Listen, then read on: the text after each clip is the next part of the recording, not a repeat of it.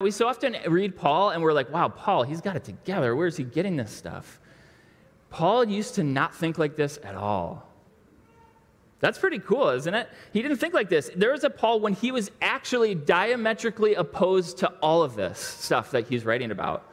I, I, think that that's just so encouraging. He was so opposed to the good news about Jesus, where he himself actually had a habit of making Christians suffer.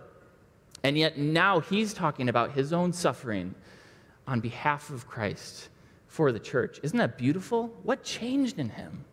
Something changed. That should be an encouragement to us this morning because it means that wherever you're at this morning, I don't care where you're at.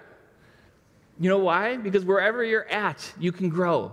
You can become more like Christ. If Paul can do it, if Jesus can do that in Paul's life, he can do it in your life as well.